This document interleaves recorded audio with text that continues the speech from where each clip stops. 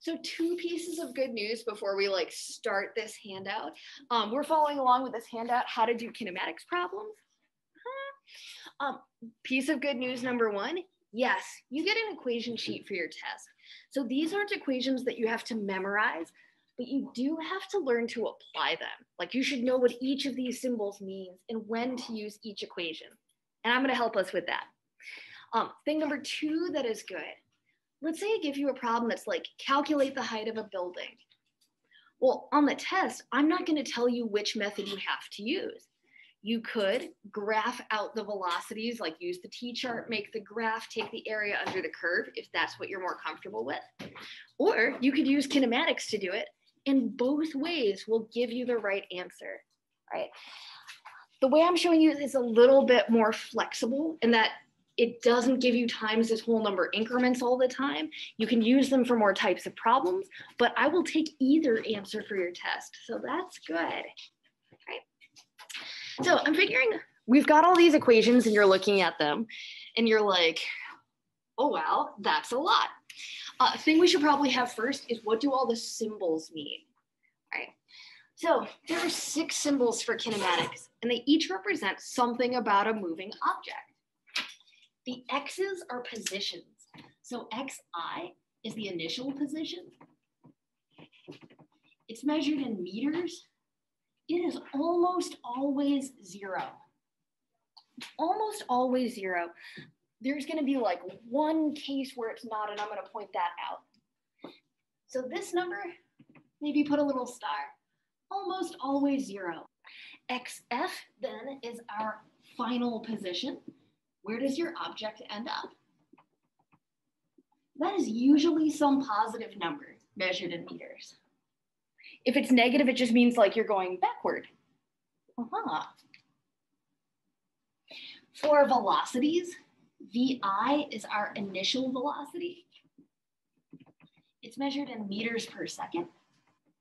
And VF is our final velocity in meters per second.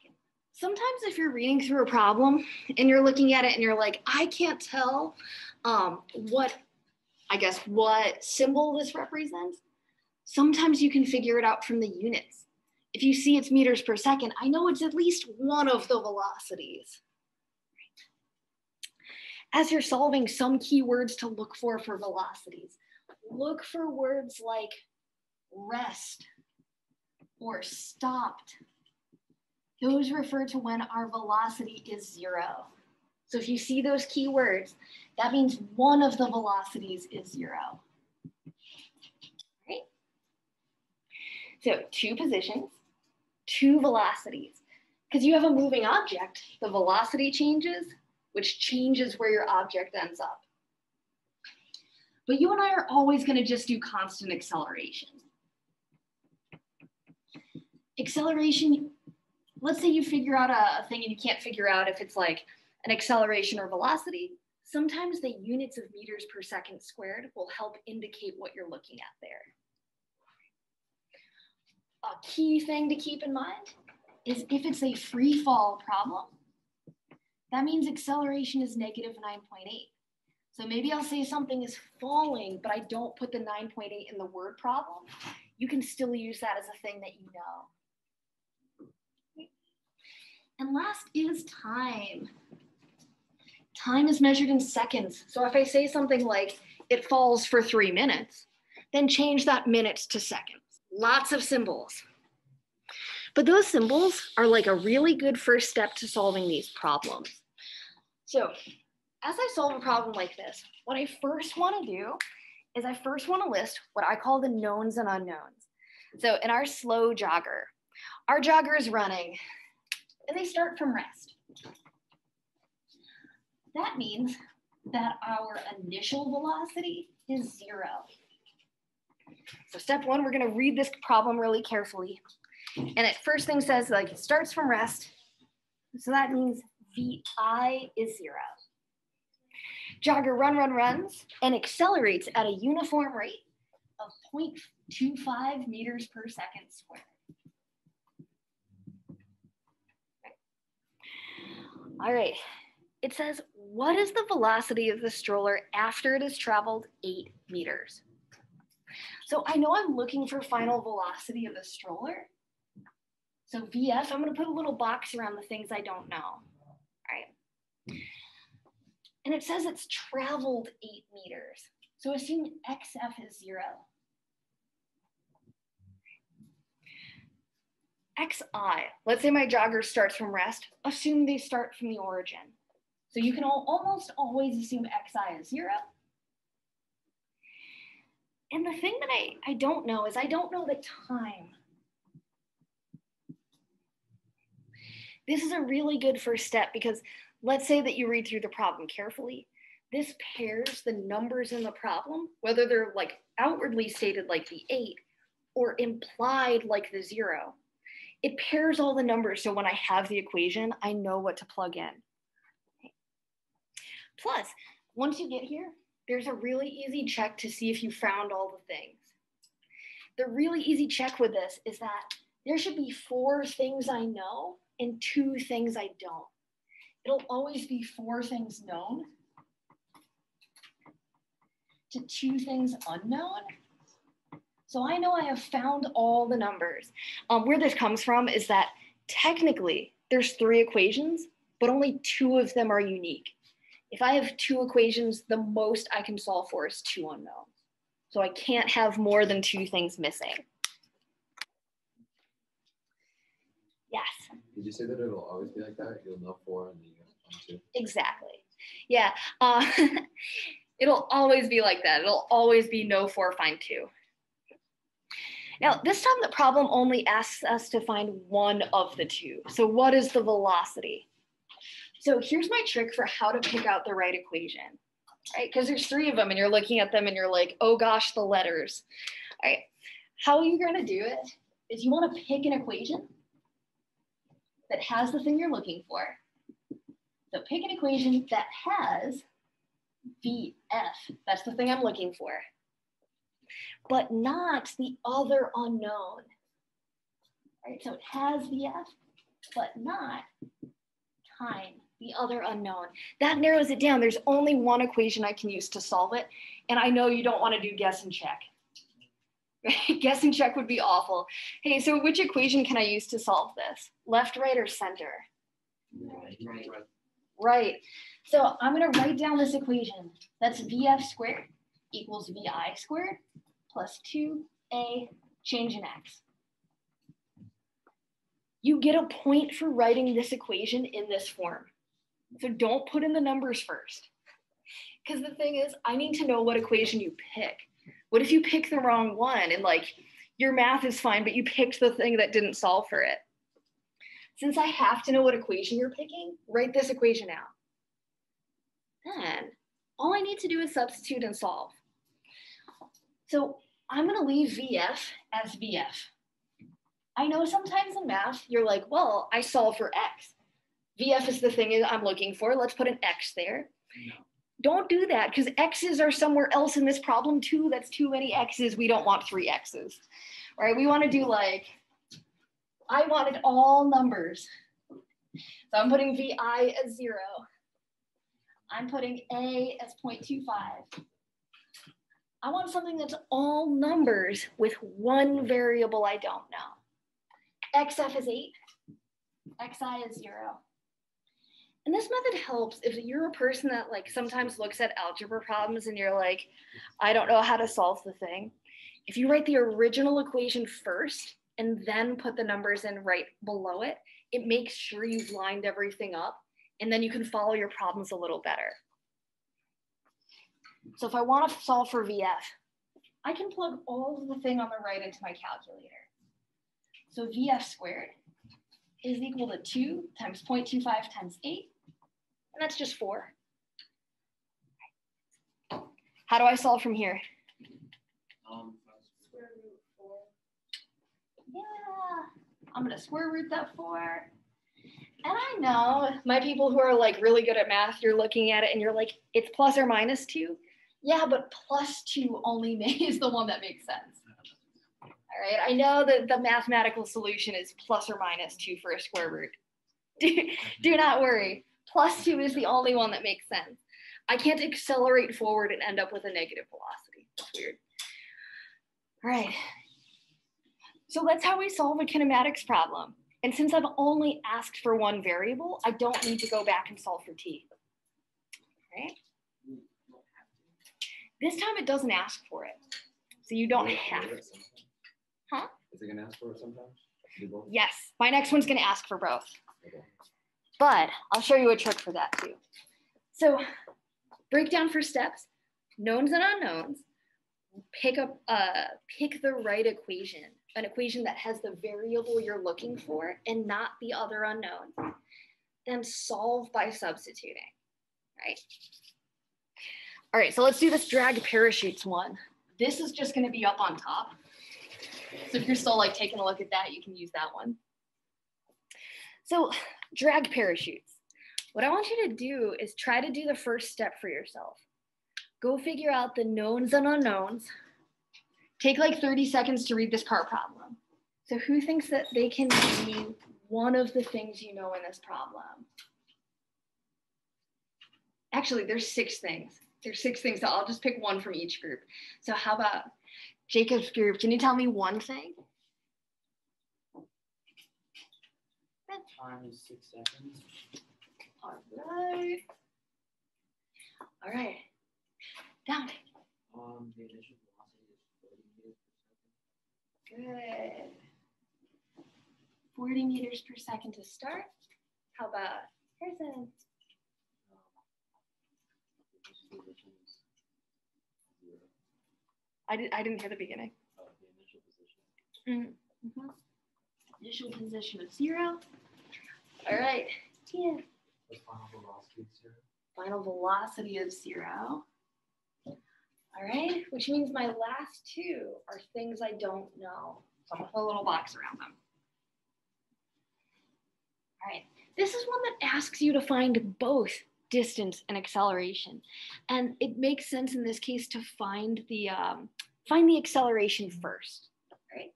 So if I'm finding the acceleration first, I want to pick an equation that has acceleration, the thing I'm finding first, but not XF. So what equation is that? One. The first one. So that's final velocity is equal to initial plus AT. Right? So a final velocity of zero is equal to 40 plus A, and T is six. So now, now it's the algebra step. I'm gonna subtract 40 from both sides. And that says negative 40 is equal to 6a. I'm going to divide to get rid of the multiplying by 6. So dividing 6 on both sides. And that leaves a is negative 6.67 meters per second squared. So I know that this acceleration should be negative because my velocity is positive. The acceleration is negative. This is a slowing down object. Since velocity and acceleration are in opposite directions, that's slowing down. That's what I'm looking for. Uh, nice thing, if you have a problem where you have to find both variables, it doesn't matter what equation you pick to find the second equation. Find the second variable, right? So if I'm finding the second variable, pick any other equation. I think the middle one's easier. the middle one solves for XF. So I'm looking at it and I'm like, all right, this one solves for the thing I'm looking for anyways. I might as well use this one. When you get a choice to pick any equation, pick the easiest equation. Right? You could totally use that last equation, but this is easier. This one says XF is equal to zero plus 40 times six plus one half. 6.67 is my acceleration. And time is six squared. Um, thing to point out here, in that equation with t squared, t is the only thing that's squared. So if you want to put little parentheses here, this like t is the only thing that's squared, not the a or the one half, right? So, hey, I don't have to algebra this at all. I can just plug this into my calculator exactly how it is. I don't need to rearrange because it's already solved for XF. So let's see, 40 times 60 is 240. This quantity I've already plugged into my calculator is 120. And it's negative because that negative 6.7 is going backward, is accelerating in the negative direction. So that XF is 120 meters. This is a car that's like traveling fast to start and gets slower and slower and slower until it stops. And it takes 120 meters to do so. Its velocity was to the right, but its acceleration is to the left, so it's slowing down. So before we try the problem on the back page, which is our last new one of the day, I want to point out that I've written this problem on the back page to go along with like a really common myth. Um, how many people have heard the myth about objects dropped from the top of the Empire State Building? So for the problem on the back page then, it starts from an unknown height and ends on the ground. So XF is zero. Usually it'll be one of the positions is zero. This time XI is not zero because it starts from above the ground and moves down. This problem is one of those that's a free fall problem where like you should know the negative 9.8. It's just not included in the wording. So look for the word free fall and assume that acceleration is negative 9.8. Okay, so we're trying to find the initial height and the time. And it doesn't matter which I chose first, um, but let's just do height first because it seems to be like that's what it was asked for first. So when I pick an equation, I need to pick an equation with height, but not time. So with xi, not t. So I'm going to use the third equation for that. The third equation is the one with the vf squared. That is the ratio of the velocities, the acceleration, and position, but doesn't have a time in it. So this is tricky because I'm going to have to find xi. For VF, I'm plugging in negative 93. Launch wave three is beginning at this time. Please report to your assigned location for launch wave three. All right, initial velocity zero. Acceleration is negative 9.8. XF is zero, and XI I don't know. Notice when I do this, like this means I'm gonna need to do a bunch of math in my calculator beforehand. You can't really do this one all in one step. So I'm doing that negative 93 squared, and I get 8649. On the right-hand side, I'm gonna do two times negative 9.8 to get me negative 19.6. And in the parentheses, that's negative xi. Those negatives cancel out, so do not worry here. The negative for negative 19.6, because think I multiplied these two together. And the negative from here, those two negative signs cancel, right? Then I can solve this. I can divide by 19.6 on both sides. So that xi is 8,649 over 19.6. It's something like 441 meters or something like that. Yeah, 441.3 meters.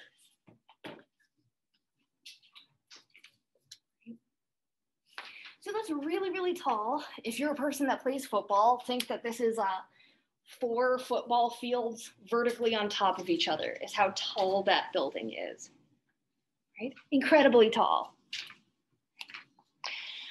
All right, then to solve for time, pick any other equation. I think the first equation is the easiest to work with. So pick any other equation to solve for time.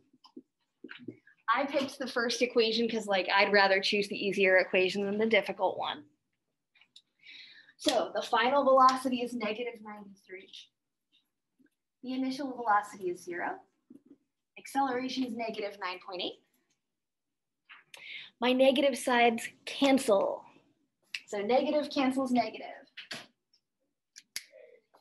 So I'm left with 93 equals 9.8t. Divide the 9.8 to the other side, and that gives me 9.5 seconds. Can you see how I probably wouldn't want to do this one as like a graph method? I'd be subtracting 9.8 over and over and over and over. And then it still wouldn't even give me a whole number, right? I'd see that the velocity, like, it goes to like negative 88 and then negative 99 or something like that right after each other. I wouldn't be able to get the exact time from that other method. Dominic. Um, why is the, why the negative signs? Oh, on which one? This one? Uh, yeah. Oh, when you do zero minus something, I drop the zero. So then I have negative 9.8 and negative 93. So just for funsies, on the bottom of this, I had us plot the velocity versus time graph. But doing that as your solving method would have been problematic. You'd go and graph this and it wouldn't give you a whole number increment for the times. Right? You'd go and graph this and like you'd have to repeatedly subtract 9.8 a lot of times. So that's where kinematics would be extra helpful. Right? Now, just so that we have this graph, I'm gonna show you the difference between like what this is in theory versus what it is with actual air resistance. Because in theory, this object falls for 9.5 seconds and is going negative 93 meters per second at the end. An incredibly fast speed. Um, if you're not familiar with meters per second, let's see what that is in miles per hour. Something like 200 miles per hour if there was no air resistance. Right? So let's say this is um, 200 miles per hour down here. But with air resistance, air resistance prevents that acceleration from reaching that value. With air resistance, it does speed up, but it levels out so that it's traveling at that constant terminal velocity. The terminal velocity of the penny that they mentioned is only 65 miles per hour. So it never reaches that 200 miles per hour like maximum that it could from free fall. So with air resistance, it'll take a really long time to fall. Think like the area under the curve. You would need a really long time to make those areas equal, right? Because the velocity is small, it's gonna take a lot longer to fall with air resistance.